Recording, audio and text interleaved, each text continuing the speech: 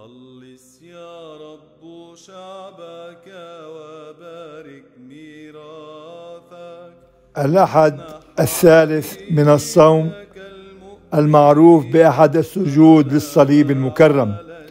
بسم الآب والابن والروح القدس الإله الواحد آمين. تحتفل الكنيسة في الأحد الثالث من الصوم الأربعين المقدس بعيد السجود للصليب. وهذا العيد هو المناسبة الثالثة في السنة التي تكرم فيها الكنيسة الصليب حيث يأتي مكملا للعيد الأول وهو رفع الصليب في 14 أيلول وتذكار يوم العثور عليه من قبل القديسة هيلانه وللعيد الثاني في الأول من شهر آب وهو عيد زياح الصليب. وهو تذكار استرجاع خشبة الصليب المقدسة إلى أورشليم من الفرس عام 630 ميلادية. والتعييد الثالث الحالي هو تذكار لنقل ذخيرة من الصليب المقدس من أورشليم إلى أفاميا بمناسبة تشييد كنيسة عظيمة فيها.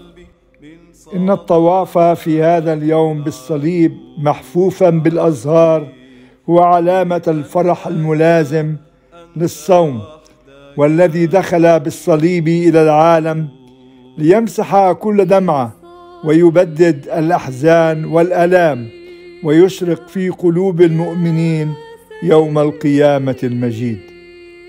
في هذا اليوم يقترب انتصاف الصوم ونرى أن بعضا من المؤمنين يملون هذا الجهاد ويتعبون وحتى لا يتركوا هذه الرياضة ولئلا يقعوا في التجربة رفعت الكنيسة ألام الصليب أمام أعينهم في طواف فيتقدمون للسجود له ويعانقونه ليوحوا لأنفسهم أنهم مصلوبون مع المسيح. ويشتاقون إلى قيامته. وإذا ما قبلوا الصليب مرفوعا على صينية ومحاطا بالرياحين أو الزهور يعطي الكاهن كل واحد منهم زهرة ليذكروا بأنه بالصليب قد أتى الفرح كل العالم وهكذا يتشددون. اليوم نلتمس شعاع القيامة الآتية من البعيد. اليوم الصليب يذكرنا بأننا قطعنا نصف الطريق نحو الفصح وها نحن صاعدون إلى الجلجلة عما قليل لنعاين المصلوب ونصلب ونقوم معه في اليوم الثالث. يقول السيد من أراد أن يتبعني فليكفر بنفسه ويحمل صليبه ويتبعني. أي شئنا أن نمشي وراء يسوع فهذا له ثمن نبذله. ما هو الذي يجب بذله؟ أن تنحر هذه الشهوة أو تلك لا يكفي. أن تنفق بعد المال أو كثيرة على الفقراء لا يكفي. أنت يجب أن تذهب إلى الصميم إلى أصل الشر وتنقيه عن ذاتك. الذات هي الكلمة المفتاح ويسميها الإنجيل المقدس. فأنت تابع للمسيح إلى حيث وصل أي؟ إلى الصليب.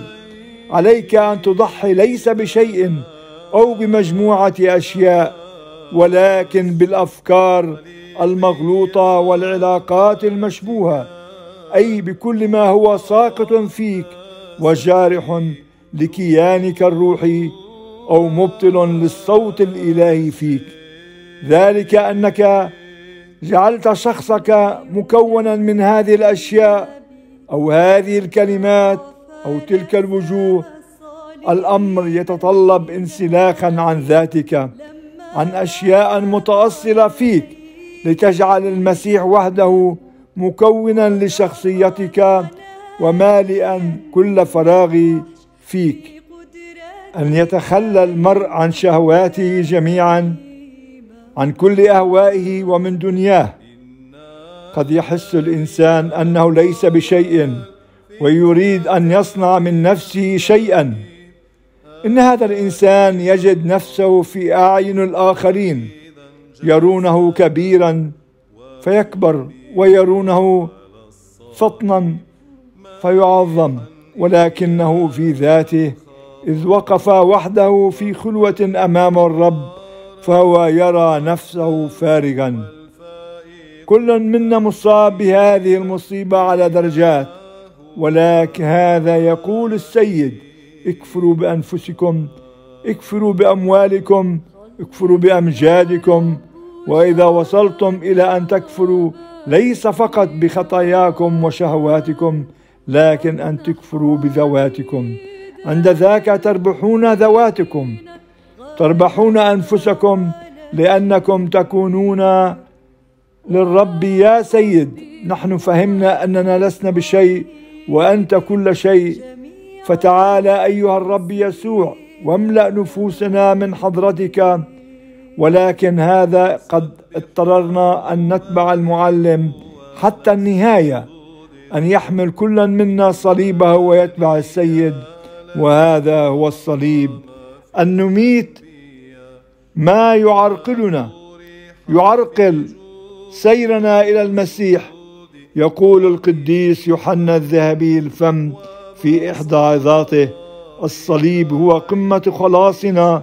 الصليب هو مصدر عشرات الآلاف من الخيرات. بواسطته صار المنبوذين والساخطين مقبولين في عداد الأبناء. مع محبة الأب بطرس ميشيل جنحه.